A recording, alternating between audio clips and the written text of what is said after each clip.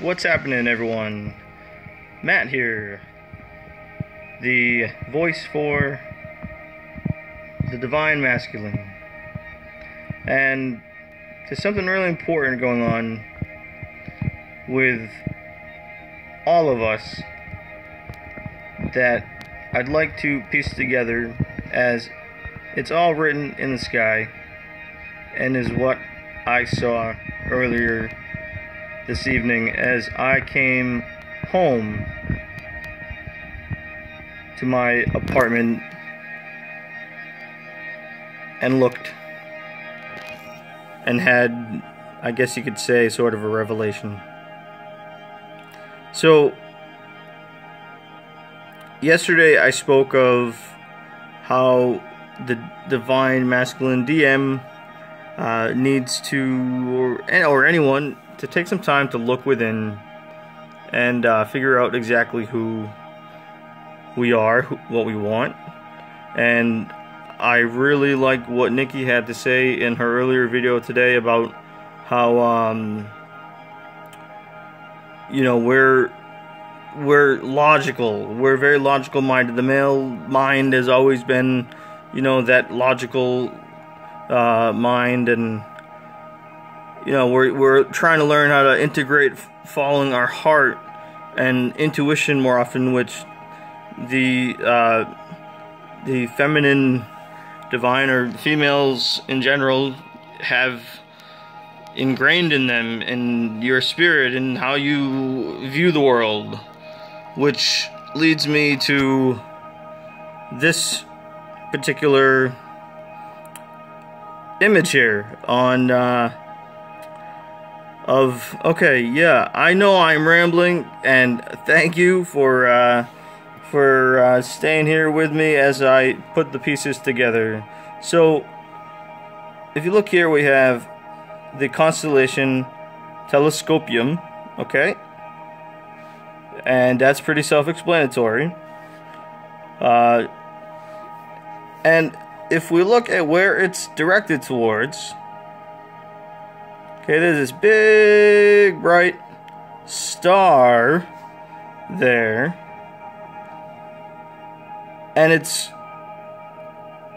separated by or prefaced by this incredible light.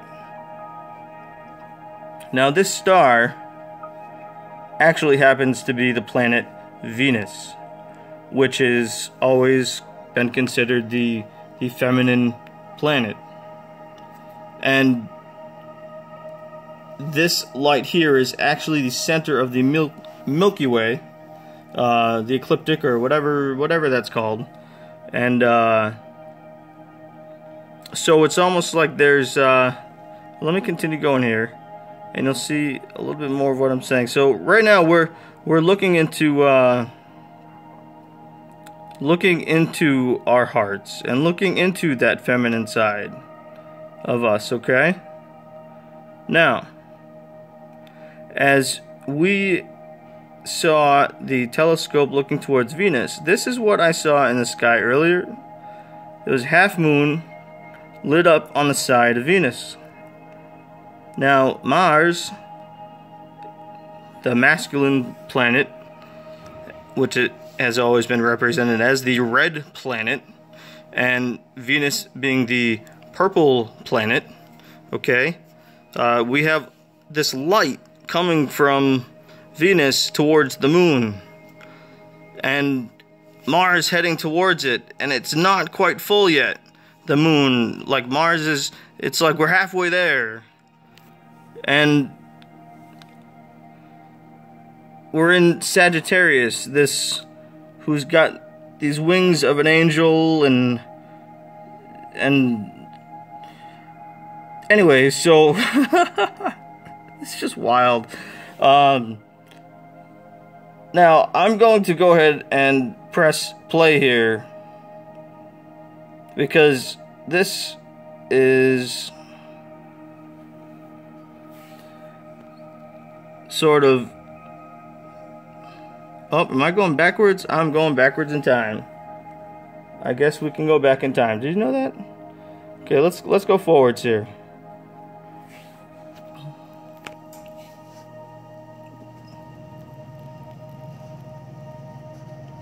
Okay, so I'd like you to just watch as we come through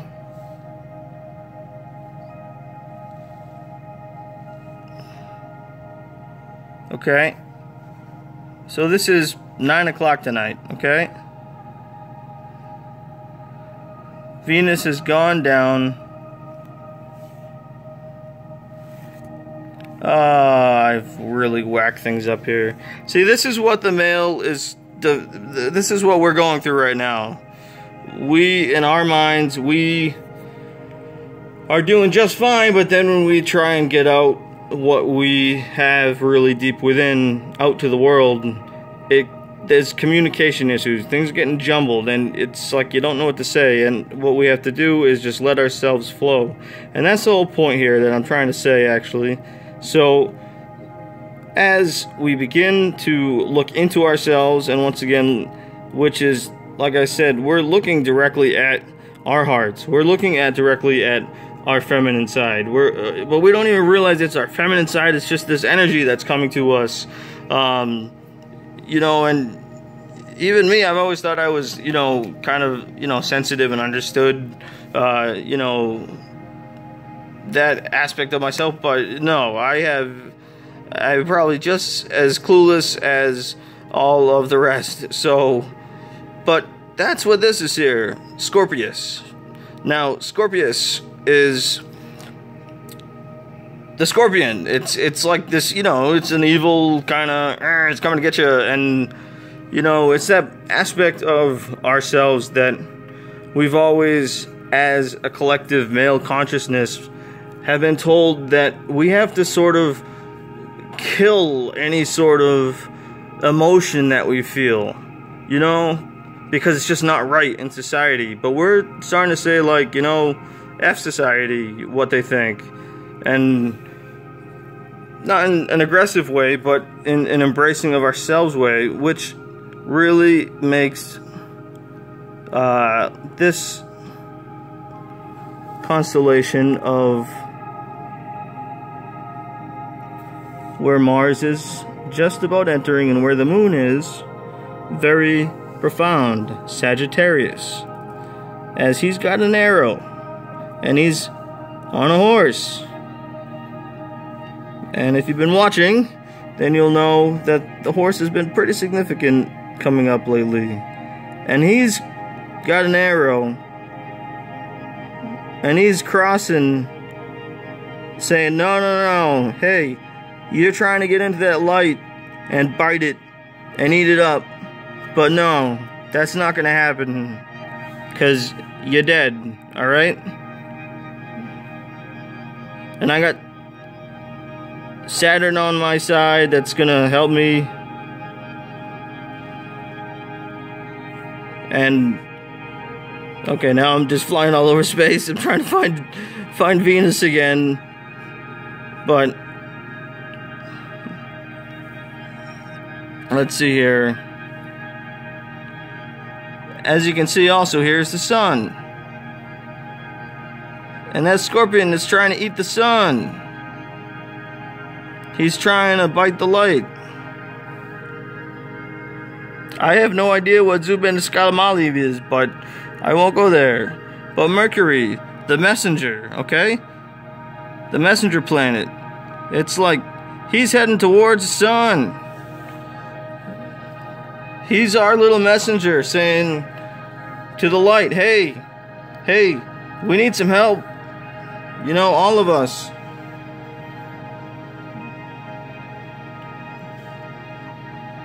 Because right now it's like, uh-oh, Venus is, uh, Venus is a little lost here.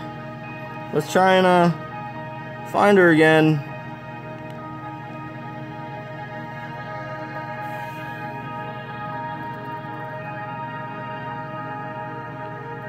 But Sagittarius is going to take care of that, of removing that part of ourself, which we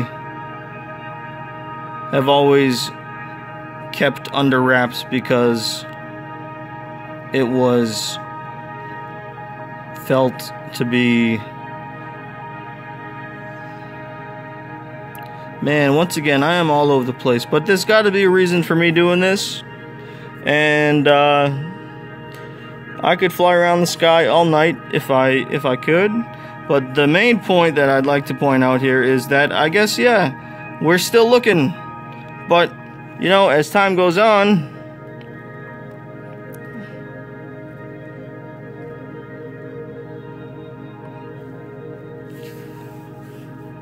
and and and some days pass okay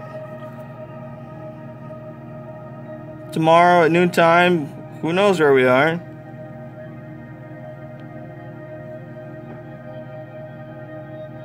but once on the 7th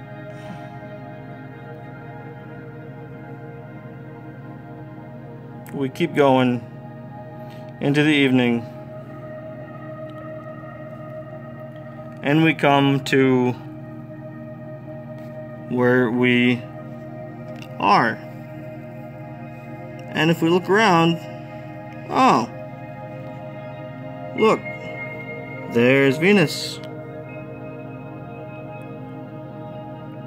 And here is Mars. And now look, Mars has now gotten closer to Venus. The moon has done its job, it continues to do its job, is moving further away. And it's getting brighter.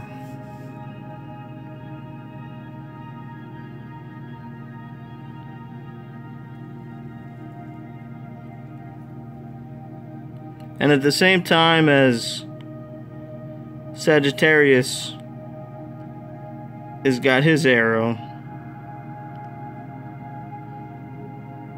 We've got the man and the horse also sending his power towards Mars and Sagittarius to give it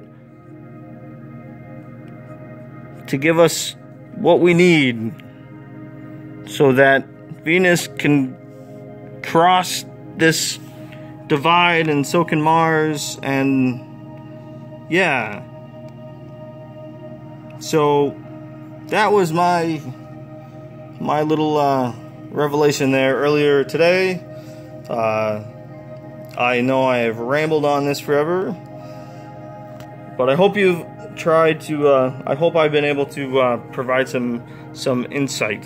Um, as to me, it was very profound. And there's one other thing that I think would be pretty cool to share about. Uh, when I went to the store, I just went for some cereal, okay? And Lucky Charms just happened to be on sale. Two for one. Alright? And, uh, you know, look at, we got, we got this, uh, like really, really happy dude who is this magical creature who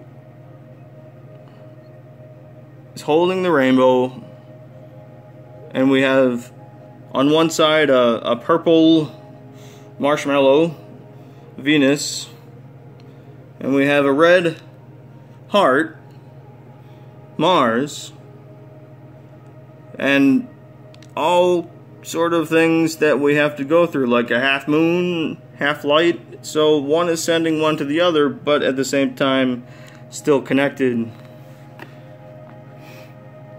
And then if I look at the box here, I thought this was pretty interesting. These are two for one. And uh, each one has 11 whole grains. And look, we're on a journey.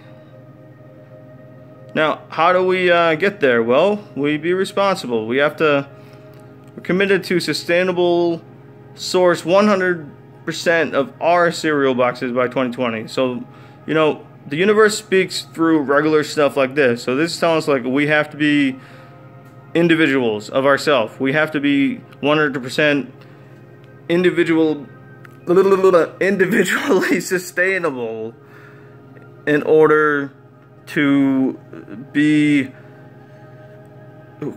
as much as we can so that we can give back.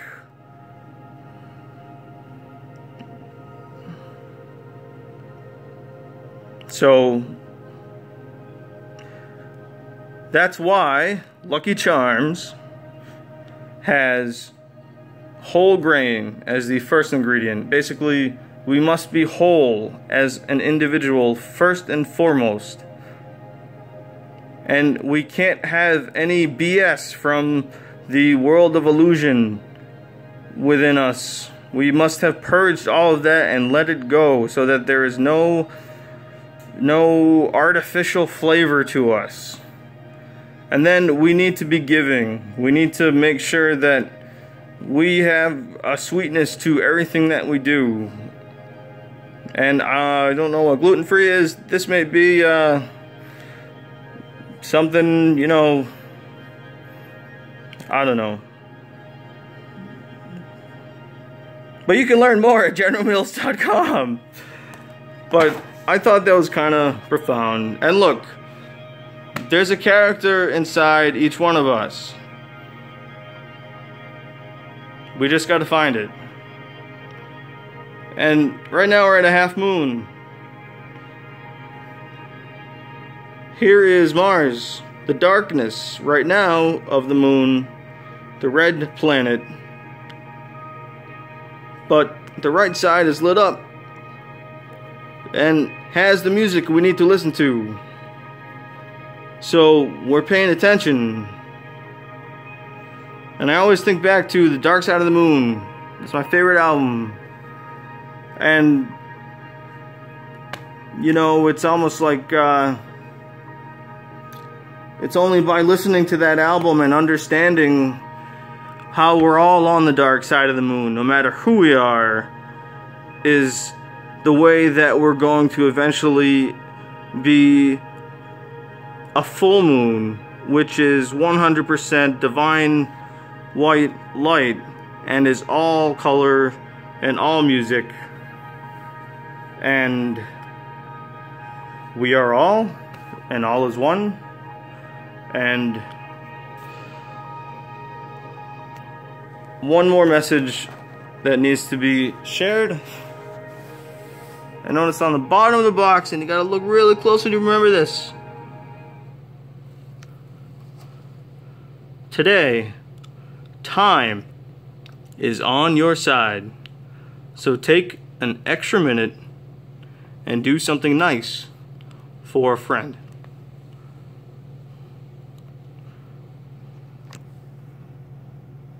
Time is on our side, this side of the veil. So that's it. Thank you. And good night good luck, and have a pleasant tomorrow. Take good care. Bye bye.